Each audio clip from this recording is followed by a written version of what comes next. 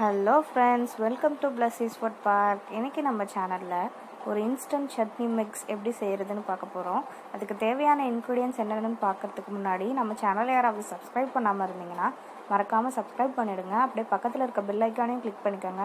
அப்போ தான் நம்ம சேனலோட நெக்ஸ்ட் அப்டேட்ஸ் உங்களுக்கு நோட்டிஃபிகேஷனாக வரும். வாங்க இப்போ இதுக்கு என்னென்ன தேவைன்னு பார்க்கலாம். முதல்ல உடச்ச கடலை காஞ்ச மிளகா நான் இன்னைக்கு ஒரு அஞ்சு காஞ்ச மிளகா எடுத்திருக்கேன். நீங்கள் உங்கள் காரத்துக்கு ஏற்ப எடுத்துக்கோங்க. தாளிப்புக்காக கடுகு உளுத்தம்பருப்பு கருவேப்பிலை பூண்டு உப்பு தேவையான அளவு.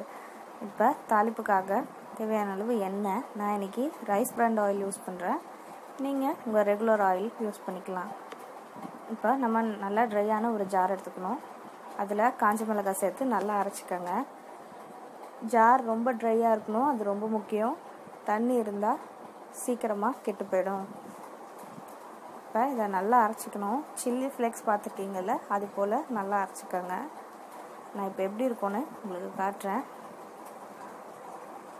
இந்த மாதிரி குறை குறைன்னு அரைச்சிட்டிங்கன்னா அதுதான் சில்லி ஃப்ளேக்ஸ் பார்த்தீங்கன்னா இப்படி இருக்கும். இப்போ அரைச்ச இந்த காஞ்ச மிளகாவோடவே நம்ம பொட்டுக்கடலையே சேர்த்துக்கலாம். இது முழு பொட்டுக்கடலையும் இருக்குது இந்த மாதிரி பாதியும் இருக்குது நான் இன்னைக்கு இந்த பாதி எடுத்திருக்கேன். நீங்கள் முழுசு இருந்தாலும் நீங்கள் அதை எடுத்துக்கலாம்.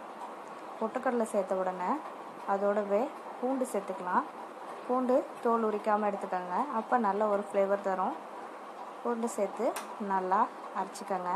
இந்த ஸ்டேஜில் நீங்கள் உப்பும் சேர்த்து அரைக்கிறதுனா அரைச்சிக்கலாம். நான் சேர்க்கலை.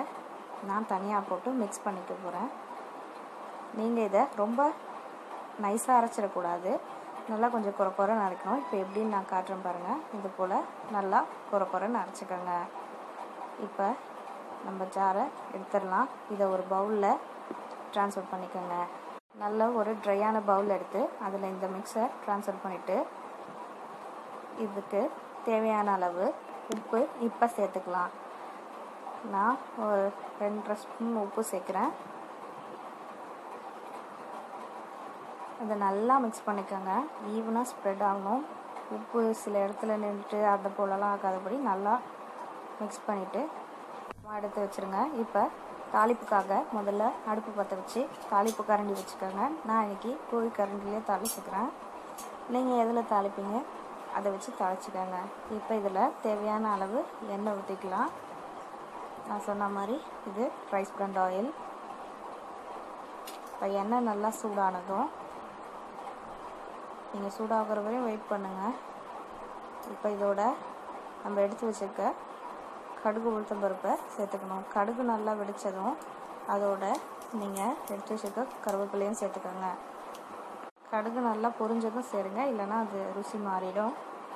இப்போ அடுப்பு அணைச்சிட்டு இதை ஒரு பத்துலேருந்து பதினஞ்சு நிமிஷம் நல்லா ஆற விட்டுட்டு நம்ம ரெடி பண்ணி வச்சுருக்க மிக்ஸோட சேர்த்து நல்லா கிளறிக்கோங்க. இதை நல்லா ஆற வச்சு தான் சேர்க்கணும். அதை மறந்துடாதீங்க. இல்லைன்னா ஒரு மாதிரி கெட்டி கெட்டி ஆகிடும் அப்புறம் உங்களுக்கு சரியாக வராது. ரொம்ப நாளைக்கும் நிற்காது நல்லா கலர்ன உடனே இதை நல்லா ஆற வச்சுருங்க நல்லா ஆற வச்சுட்டு வேறு ஒரு ஏர்டைட் கண்டெய்னரில் நீங்கள் போட்டு ஸ்டோர் பண்ணிக்கலாம். நான் இன்றைக்கி சின்னதாக கொஞ்சமாக அரைச்சிருக்கிறதுனால கொஞ்சம் நாள் தான் வரும். ஸோ இந்த மாதிரி ஒரு சின்ன டிஃபன் பாக்ஸில் நான் ஸ்டோர் பண்ணி வச்சுக்கிறேன். நீங்கள் ஜிப்லாக் பேக் இருந்தாலும் நீங்கள் ஸ்டோர் பண்ணிக்கலாம். இன்னும் நல்லாயிருக்கும் நீங்கள் ஃப்ரிட்ஜில் வச்சிங்கன்னா இது ஒன்ல ஒன்லேருந்து ஒன் அண்ட் ஆஃப் மந்த்ஸ் நல்லாயிருக்கும் வெளியே வச்சிங்கன்னா ஒரு டூ டு த்ரீ வீக் கூட நல்லாயிருக்கும் நீங்கள் இதை ட்ரை பண்ணி பார்த்துட்டு எப்படி இருந்துச்சுன்னு எனக்கு கமெண்ட்டில் சொல்லுங்கள் ஃப்ரெண்ட்ஸ்